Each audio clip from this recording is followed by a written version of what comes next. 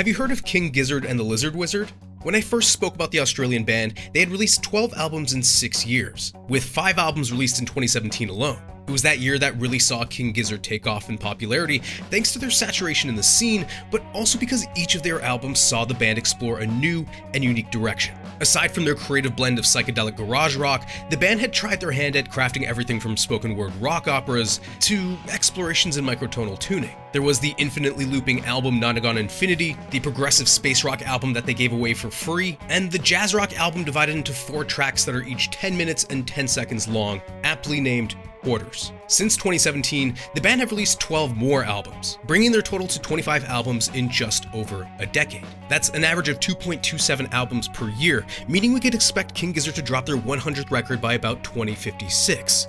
But in the meantime, let's take a look at how the band's sound has evolved over the second half of their discography, and where you should begin listening if you've never heard of King Gizzard and the Lizard Wizard.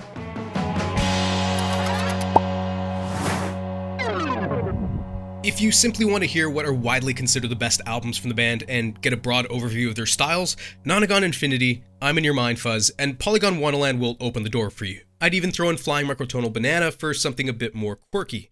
But if you like any of these, you can bet you'll enjoy a lot more from the band because the journey doesn't end there. Since 2017, King Gizzard has continued to evolve, not only in terms of production quality, but there's been a noticeable shift towards more genre blending and experimentation as well as a change in the themes and concepts they explore in their music. And that divide began with their final of five albums in 2017, Gumboot Soup.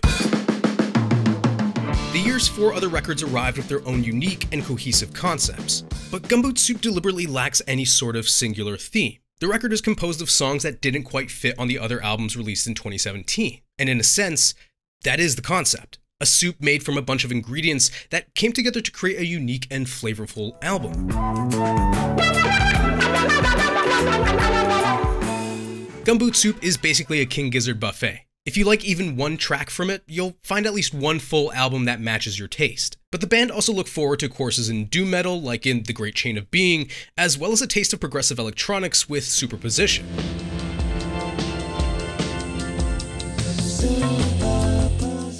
The album is totally overlooked because of this range of sounds, because if you enjoyed any of the concepts from the 2017 records, you'd probably be listening to that record instead. And as for the new genres stirred in, we get to experience those soon enough, after the long halt of 2018. For the next 481 days, King Gizzard would refrain from releasing any new music. It was the longest the band had gone without releasing a record since their debut in 2012. I'd say they deserved the break, but the band didn't take one. King Gizzard took that time to focus on touring, and with their growing popularity, they'd reissue some of their older records, as well as their official version of Polygondwanaland from 2017. The 55 week silence was finally broken in 2019 with one of their most divisive tracks up to this point. Full of 80s synths and a catchy but repetitive hook, Cyboogie was a fairly drastic change of pace, nor was it very representative of their next album, Fishing for Fishies. The record ended up being a wholesome blend of boogie and blues rock. That means a focus on groove and some of the best bass lines in Giz history.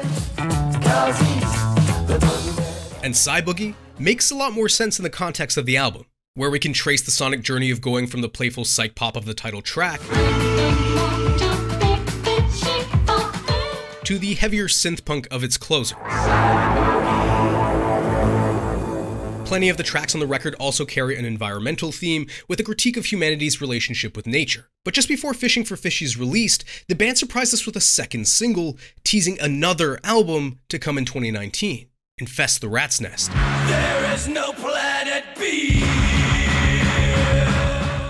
We were just a few months from having heard one of their most mellow records when the boys would release their heaviest album to date. They had dipped their toes into metal elements in the past, but they'd finally make a full thrash metal album filled with chugging riffs and double kick drumming. Infest the Rat's Nest was composed and recorded primarily by only three of the band's usual seven man lineup. Stu Mackenzie and Joe Walker recorded the guitar and bass parts, with Michael Cavanagh absolutely destroying the kit.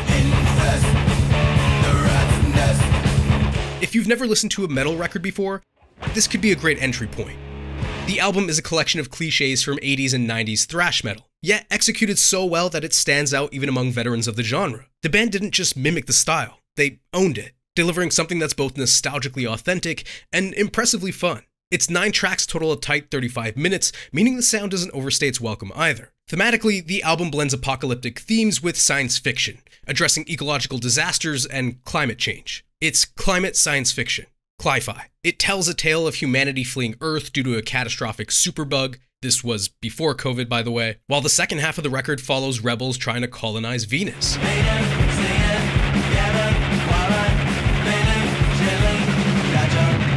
By the end of 2019, the band was coming out of a very prolific year and a tour that gave birth to several live albums. Inspired by the band's innovative release of Polygondwanaland, an album you can download for free, sell, and produce your own vinyl copies of, led to the creation of Bootlegger, a program encouraging fans to freely download, produce, and sell the band's live recordings and demos, with the sole condition that some copies are provided to the band for sale on their store. And then COVID 19 shut down the world in 2020. Like most performers, King Gizzard's shows and events would be postponed and eventually cancelled.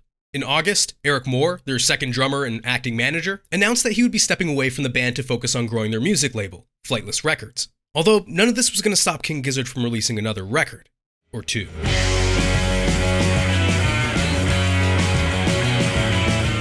When the band labeled their album Flying Microtonal Banana with a Volume 1, the fandom would expect further explorations into microtonal tuning eventually. Crafted remotely and arriving within just a few months of each other were KG and LW, two fresh volumes featuring that Turkish psych rock sound and desert feel.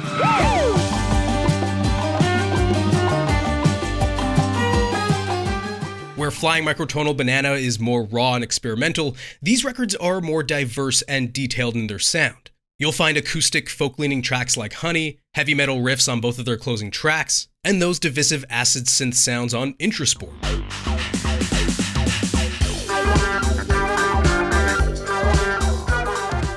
KG has some of the stronger tracks, but LW is a bit more cohesive and consistent with the microtonal theme. Generally, both lack some of the hooks and melodies of previous records, but it's hard to complain when the band are simply honoring past promises and would release yet another record with a new direction only three months later. I'm talking about Butterfly 3000.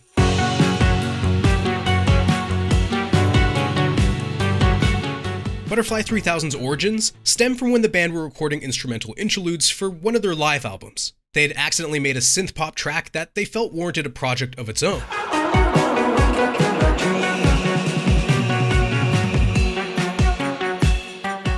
When the band were attempting to create a follow up to their record Polygondwanaland, they arrived at similar sounding tracks like Black Hot Soup, Ya Love, and Shanghai, the beginnings of a sort of dream pop album.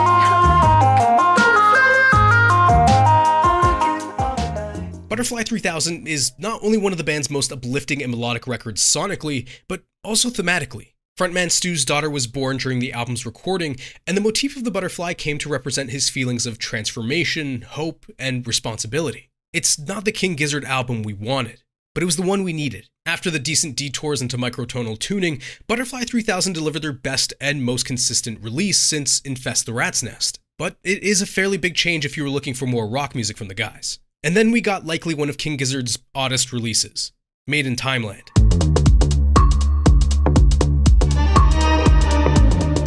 Initially conceived as intermission music for their three hour live shows, Made in Timeland soon expanded into its own project. The album, if you can call it that, consists of two 15 minute tracks that are mainly instrumental forays into progressive electronic music. Ambrose even raps at one point.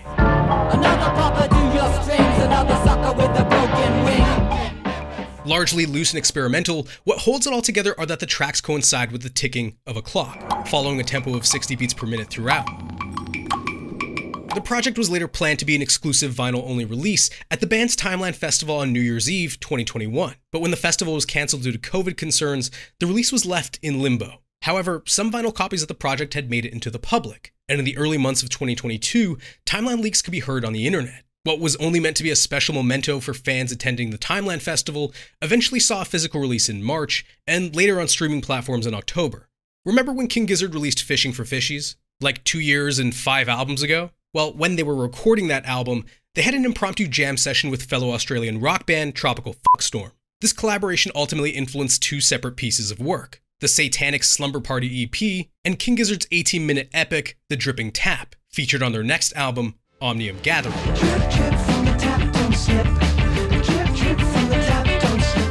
The title pretty much translates to a collection of everything, and that's exactly what this record gave us. This is King Gizzard's White Album, a double album showcasing their range of styles and technical ability. There's the dream pop of Butterfly 3000,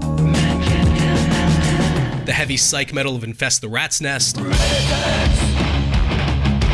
a little synths, a lot of funk, and more than one hip hop inspired cut.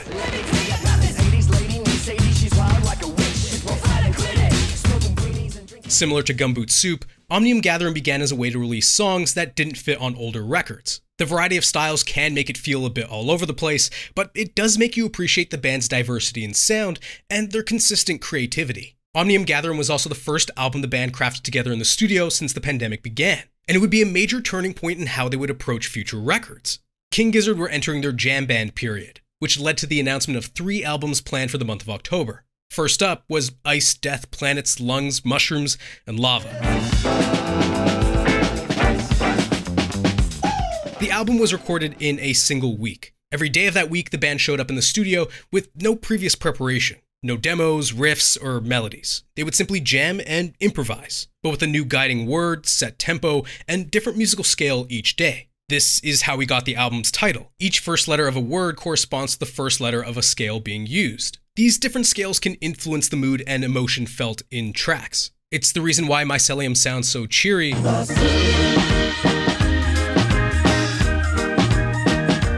And why Gliese 710 feels so uneasy.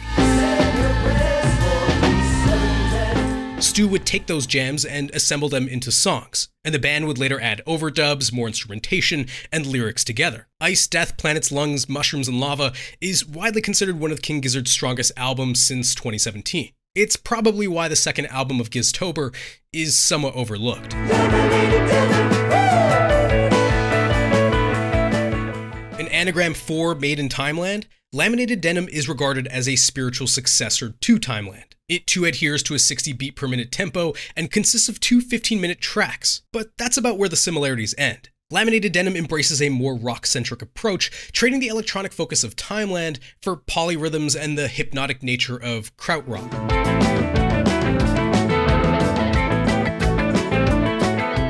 These tracks also sound more like the spiritual successors to the song Sweet on Quarters or I'm in Your Mind Fuzz. If you miss that classic King Gizzard style, you'll find it matured here. If you're looking for some change, though, look no further than changes.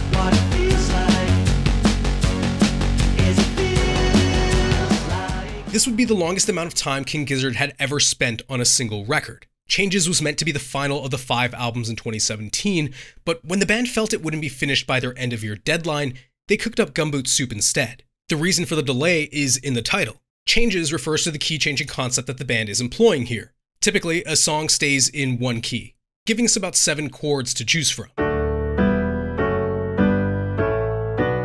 The tracks on Changes alternate between two keys, effectively giving King Gizzard 14 chords to choose from. But usually, chords outside of its set key sound wrong or a bit odd next to each other.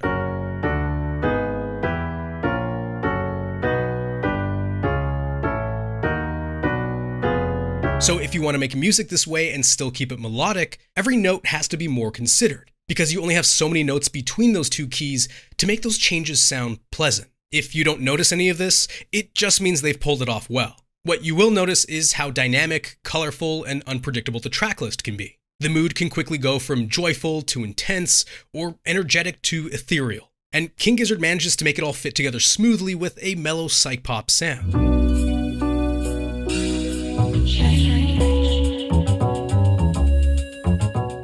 And would you look at that? King Gizzard released five albums in one year again. We were all two albums behind, and the band were already planning two more albums for 2023, claiming they would carry a sort of yin and yang concept, with both sounding very different from one another, but also complementary. Petrodragonic Apocalypse arrived first. Petro,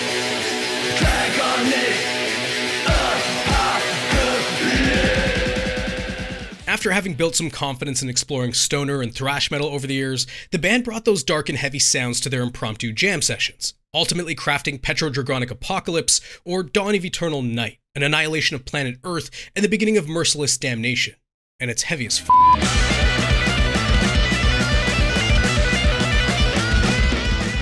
While Infest the Rat's Nest is the better metal record, thanks to its catchier riffs and accessibility, Petrodragonic Apocalypse is the better King Gizzard record, showing off the band's technical mastery and experimental edge. There are only seven tracks on the album, but nearly every one of them is brilliant, especially that second half. Lyrically, it's also one of the band's best yet, critiquing our over reliance and worship on technology, our vulnerability to the power of nature, and our small place in the grand scheme of the universe.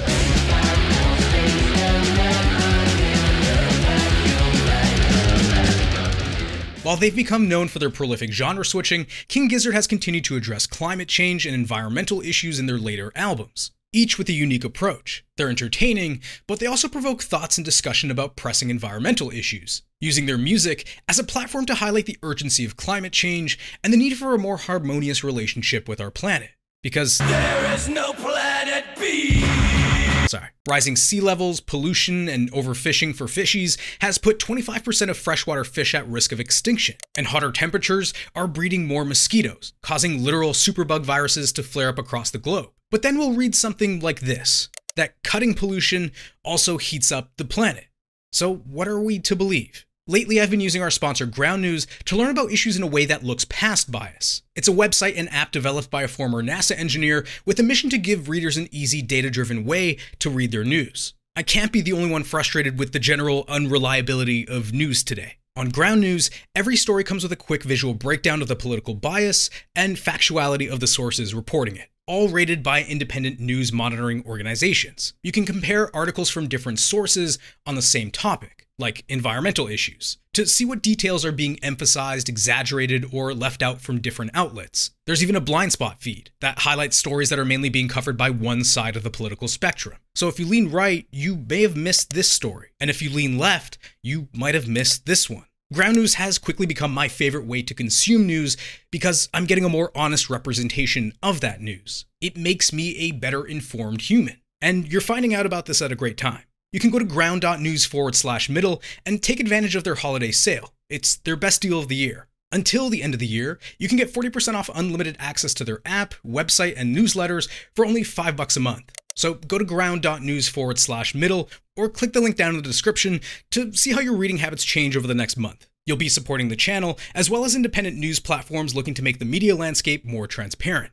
Now, let's get back to Petrodragonic Apocalypse. The second half of the album is about dragons eating witches during the apocalypse, though, so there's a little bit of everything for everyone. Almost quite literally, as the end of this album begins teasing the direction of their second album of the year, The Silver Cord.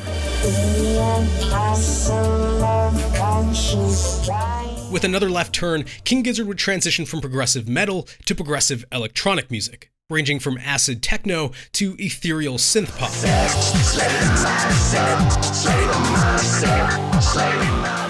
After drummer Michael Cavs purchased an electronic drum kit, the whole band decided to sell their guitars and buy turntables, focusing on synth based sounds. It's a darker and more dense electronic venture than something like Butterfly 3000 or Made in Timeland. There's also two versions of this record the shortened 28 minute rendition and the extended 88 minute edition. The extended mix does enhance the experience, allowing tracks to breathe and go to more interesting places. But some tracks work better shortened, while others work better extended. King Gizzard split them across two discs, sort of leaving listeners to find out which ones are best for themselves. A significant shift towards electronic, The Silver Cord is likely one of the band's most divisive releases. Thematically, the album makes a lot of references to mythology and folklore, while interpolating moments and lyrics from Petrodragonic Apocalypse, like a mirror. For example, Theia shares Motor Spirit's refrain.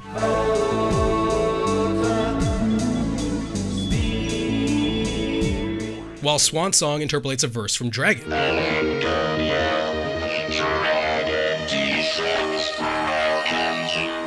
If you simply want the best albums from King Gizzard post 2017, Ice Death, Petrodragonic Apocalypse, and Omnium Gatherum. King Gizzard have truly found a new stride in their jam band era, showcasing their variety of styles, their lyrical creativity, and willingness to challenge themselves through their concepts. Add to that an approach where urgency meets creativity and curiosities become gateways into possible territories, and you have a band that has not only defined their sound, but has also forged a distinct legacy. There is no band like King Gizzard and the Lizard Wizard. They are something of a phenomenon. Tell me, what sounds do you hope the band explore more in the future? Let me know in the comments below. Follow me over at More Middle 8, like the video if you liked the video, subscribe if you loved it. I'll see you in 2030, when the band have released 13.6 new albums. Thanks for watching, and keep listening to King Gizzard.